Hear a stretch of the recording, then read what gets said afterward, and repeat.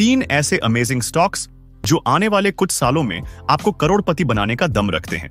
अगर आप इन स्टॉक्स को हर डीप में एक सही प्राइस पर खरीदने का जिगर रखते हैं तो आज की इस वीडियो में मैं ऐसे तीन स्टॉक्स के बारे में बात करूँगा जो आपके पोर्टफोलियो में होने ही चाहिए। चाहे कुछ हो जाए, सारा पोर्टफोलियो ही क्यों ना बेचना पड़ जाए? लेकिन यह तीन स्टॉक्स भूल भी कभी बेचने की ना सोचे। इस वीडियो में मैंने इन तीन स्टॉक्स का डिटेल्ड फंडामेंटल एनालिसिस किया है। जो आपको इन्वेस्टमेंट के रिगार्डिंग एक सही डिसीज़न लेने में बहुत हेल्प करेंगे। आज की इस वीडियो में जिन भी डेटा पॉइंट्स की बात की गई है, ध्यान रहे उनके नंबर्स टाइम के साथ साथ ऊपर नीचे, आगे पीछे होते रहेंगे। लेकिन आपको उन नंबर्स से ज़्यादा, उन डेटा पॉइंट्स के कॉन्सेप्ट पर ध्यान देना है, जो आपको अपने लिए बेस्ट स्टॉक फाइंड आउट करने में बहुत हेल्प करेंगे। तो चलिए, आपका कीमती समय वेस्ट किए बिना आज की स्टॉक टॉक शुरू करते हैं और कुछ नया सीखते हैं।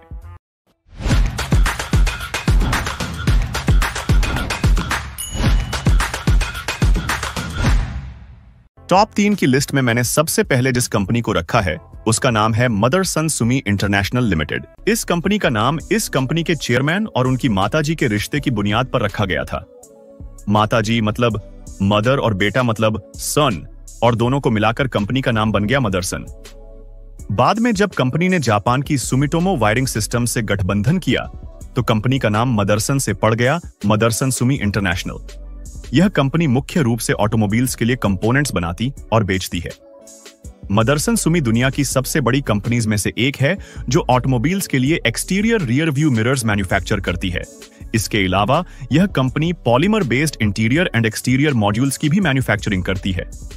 इसके साथ साथ, मदरसन सुमी इंडिया में पैसेंजर व्हीकल्स के लिए वायरिंग हार्नेसेस की सबसे बड़ा निर्माता भी है। कंपनी के अगर प्रोडक्ट पोर्टफोलियो की बात की जाए तो कंपनी वायरिंग हार्नेस डिवीज़न को खुद से डिज़ाइन एंड मैन्युफैक्चर करके ऑटोमोटिव और नॉन ऑटोमोटिव सेक्टर्स को सप्लाई करती है। मदरसन ऑन ऑटोमोटिव इंडस्ट्री के लिए विजन सिस्टम्स की लीडिंग ग्लोबल सप्लायर्स भी है, जिसमें interior mirrors exterior mirrors and camera based detection systems जैसे प्रोडक्ट्स आते हैं। इसके साथ साथ यह company simple plastic parts to highly integrated systems and modules को भी मैन्युफैक्चर करके ग्लोबली सप्लाई करती है। अगर कंपनी के मेटल प्रोडक्ट्स की बात की जाए तो इसमें गियर काटने के टूल्स ऑफ़ हाईवे वाहनों के लिए cabin HVAC system shock absorbers sheet metal parts clutches for car and AC compressors शामिल है। इसके अलावा कंपनी ने एरोस्पेस इंडस्ट्री में भी अपने integrated solutions, products and services provide करना शुरू की है।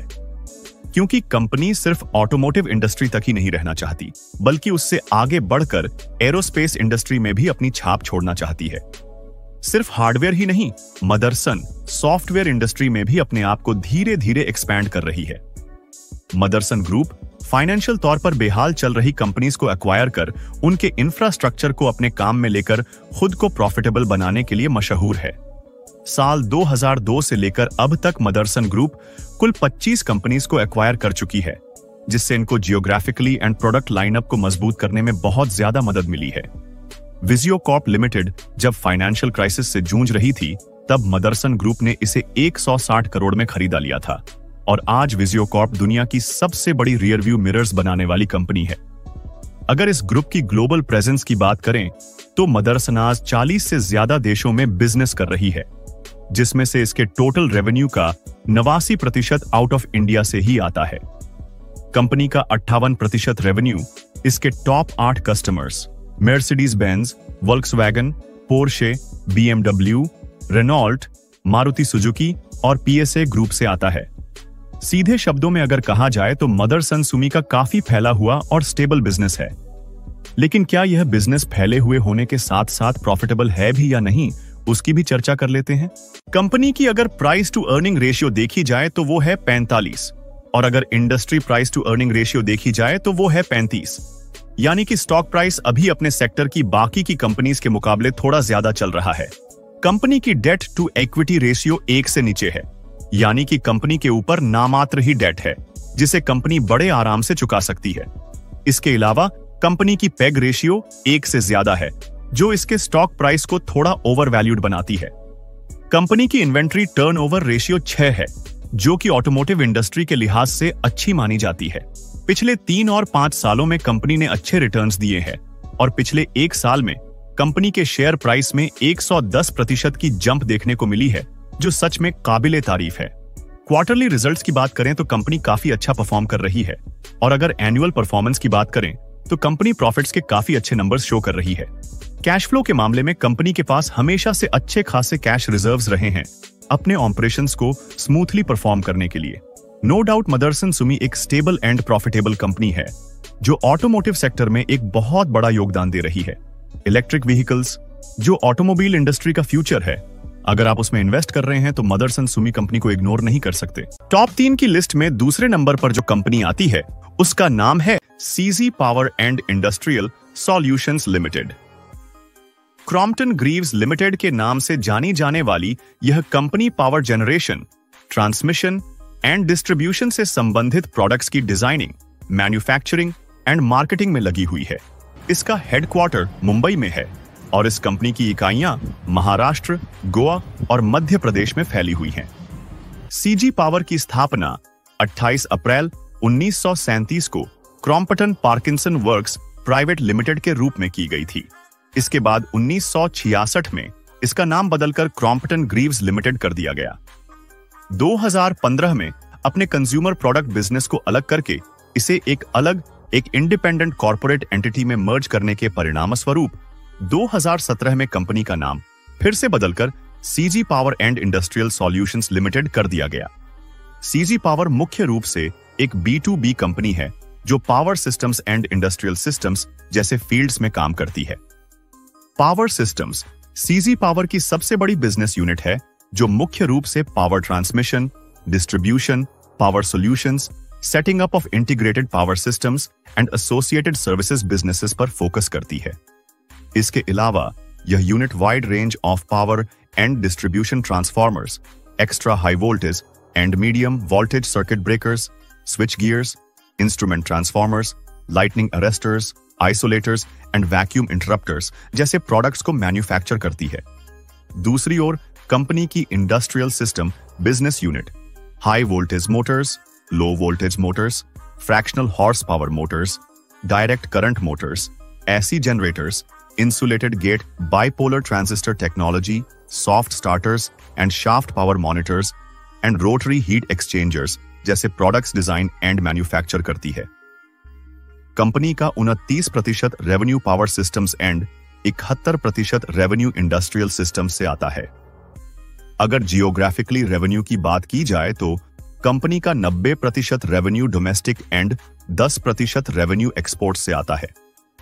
इन सब के अलावा सीजी पावर जापान की रेनेसास इलेक्ट्रॉनिक्स कॉरपोरेशन और थाईलैंड की स्टार्स माइक्रो इलेक्ट्रॉनिक्स के साथ साझेदारी में, गुजरात के सानंद में सात लाख छह सौ करोड़ रुपए के निवेश से सेमीकंडक्टर एंटिटी स्थापित करेगी। रेनेसास एक लीडिंग सेमीकंडक्टर कंपनी है, जो स्पेशलाइज्ड चिपसेट बनाती है, जो 12 अलग अलग सेमीकंडक्टर सुविधाओं का संचालन करती है। Renesas micro controller analog power और सिस्टम ऑन चिप जैसे प्रोडक्ट्स की भी मैन्युफैक्चरिंग करती है। इस साझेदारी के तहत CG power semiconductor unit consumer industrial automotive and power applications के लिए हर दिन 15 मिलियन चिप्स का निर्माण करेगी, जो एक बहुत बड़ा नंबर प्रोडक्ट लाइनअप और विजन को देखते हुए कंपनी काफ़ी इंप्रेसिव लग रही है। लेकिन क्या यह कंपनी इन्वेस्टमेंट के लायक है भी या नहीं? आइए, उसे भी जान लेते हैं। कंपनी की प्राइस टू अर्निंग रेशियो 131 है और इस सेक्टर के बाकी की कंपनीज़ की प्राइस टू अर्निंग रेशियो चल रही है 55 यानी कि सीजी पावर अपने सेक्टर की बाकी की कंपनीज़ के मुकाबले ओवर वैल्यूड चल रही है। Debt to equity ratio zero है। यानी कि कंपनी के ऊपर किसी भी तरह ऐसा कर्जा नहीं है जो इसको ग्रो होने से रोके। किसी कंपनी के ऊपर लो डेट या ज़ीरो डेट का होना अपने आप में एक बहुत अच्छी बात होती है। पेग रेशियो एक से ज़्यादा है, यानी कि कंपनी का शेयर प्राइस अभी थोड़ा ओवर वैल्यूड चल रहा है। बीते तीन और पाँच सालों में कंपनी ने ज़बरदस्त रिटर्न दिया है, जो कि एक और अच्छी बात है। कंपनी की inventory to turnover ratio आठ है, यानी कि कंपनी की इन्वेंट्री आठ दिनों के अंदर निकल जाती है, जिससे कंपनी के ऊपर अपनी इन्वेंट्री मैनेज करने का ज़्यादा स्ट्रेस नहीं है। क्वार्टरली कंपनी काफ़ी अच्छा परफॉर्म कर रही है, जिसके नंबर्स आप अपनी स्क्रीन पर देख सकते हैं। अगर एनुअल परफॉर्मेंस की बात की जाए तो साल 2021 के बाद से कंपनी के प्रॉफिट्स में काफ़ी अच्छा जंप देखने को मिला है। कैश फ्लो के मामले में भी कंपनी पॉजिटिव दिखाई पड़ती है, जिससे कंपनी को अपने बिज़नेस ऑपरेशंस रन करने में दिक्कत नहीं आएगी। डोमेस्टिक एंड फॉरेन इन्वेस्टर्स भी सीजी पावर में बढ़ चढ़कर इन्वेस्ट कर रहे हैं, जो इस कंपनी को रिटेलर्स के लिए भी लुक्रेटिव बनाता है। ओवरऑल देखा जाए तो सीजी पावर एक वेल एस्टेब्लिश्ड होने के साथ साथ एक फंडामेंटली स्ट्रॉन्ग कंपनी है। हाँ कंपनी का शेयर प्राइस थोड़ा ओवर वैल्यूड ज़रूर चल रहा है, लेकिन यह प्राइस समय के साथ साथ घटता बढ़ता रहता है। अगर आप इस कंपनी में एक लॉन्ग टर्म इन्वेस्टमेंट की सोच लेकर आ रहे हैं तो आपको कंपनी के शेयर प्राइस से ज़्यादा इसके फंडामेंटल्स पर ध्यान देना चाहिए।